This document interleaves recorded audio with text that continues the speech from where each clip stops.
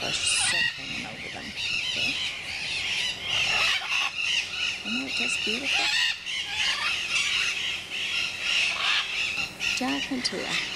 See, they're, they're hovering close to the box now, and they've got a couple new. Uh, see, I'm, I'm a believer, for those who don't know, I'm a believer that my birds eat up high.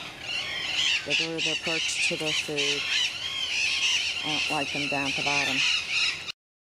Hi, sweetie. Believe it or not, this is Remington. Isn't that amazing?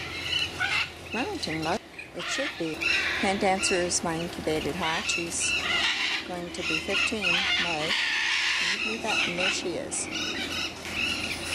So they may be getting ready to do hoochie, hoochie, hoochie. Yes, yes. Pretty girl. Pretty girl.